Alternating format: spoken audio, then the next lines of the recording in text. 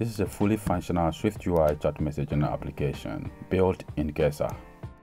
Let's use the Claude 3.5 Sonnet model and prompt it to follow this tutorial to build the iOS chat messaging application. Launch Cursor and press Command I to bring the composer. Then we will paste this prompt to generate the necessary files. Over here, I added a link to the article I showed in the beginning of this video. So let's submit the prompt. You can see it has started generating all the necessary files. If I scroll down, you can see it generated the following files. In Xcode, you can see over here, these are the three files. I also installed the Stream Chat SDK for iOS. So that is what you see under package dependencies. Also, I added privacies for camera and photos library. So we can now go ahead and run the app.